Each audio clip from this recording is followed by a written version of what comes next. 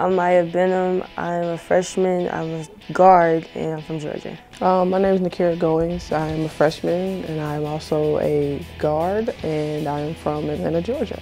Well, you know, that's a unique recruiting uh, opportunity to have both of those guys come here and be Cincinnati Bearcats after playing high school basketball together, um, as well as AAU. And uh, just kind of how we got involved with with the situation. Uh, we was recruiting Maya. Um, obviously, Maya coming out of uh, high school was one of the top uh, players in the country. So as we started to recruit her more and more, the more you saw her, it kind of became a situation. The more you saw Nikira.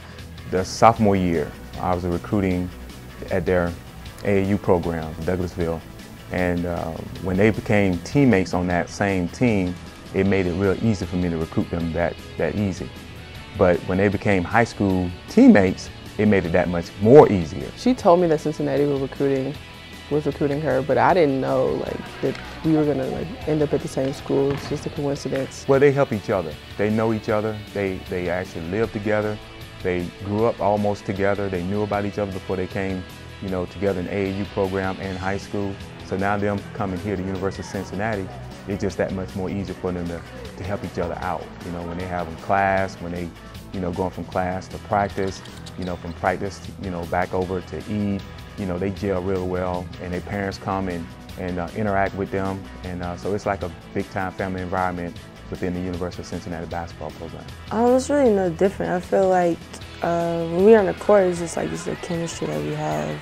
It's been there since like we first started playing. Like when I first met her, I kind of knew like, hey, I want to play with her for like you know through college and everything like that. I just know that she knows me and I know her, so we know how each other are feeling, and so when I'm homesick, we do talk to each other, and we know each other's family, so even like when she's homesick and her mom comes up here, they take me in, and when my parents come, they talk to her. So it's just great. Obviously, you know, you talk to the coaches and the family members know each other and have a relationship, and it just makes, you know, they're from the same area. So when you we're going down to play Georgia, for instance, so we go down there and on a, a on a road trip, in a road game, we get a chance to have two uh, players and their family and all their supporters, supporters come see us play. And I'm sure it helps as well as far as being a freshman, coming to college and getting acclimated and knowing that you can do it with somebody that you're comfortable with and used to and have a great relationship with.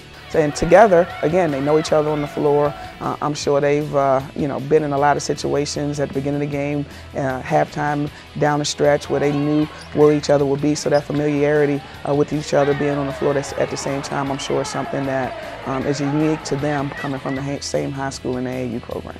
It was a blessing for us, and um, you know, we hope that we can continue that that that door of, of getting those kids from Georgia here to the University of Cincinnati.